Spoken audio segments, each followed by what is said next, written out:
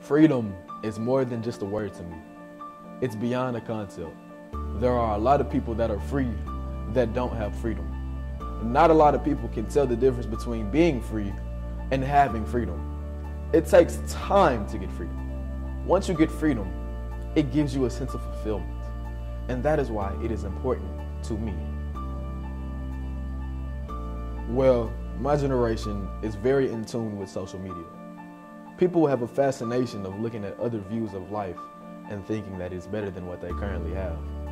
The way I see my generation getting liberation is by separating the aspects of what's real and what's fake based on what people have posted.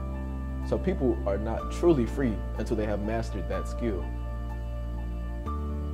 What's special about me is that I have many gifts, ranging from athletic talents to broadcasting. So I'm going to try to appeal to the kid that has to go home at 8 p.m., who has spent all of their hours in the gym or on the field, who can't wait to get out on the weekends.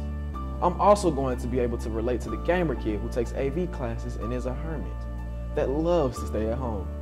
And by being relatable to people would be my way of reaching out to others and letting them get a better sense of themselves and the world around them.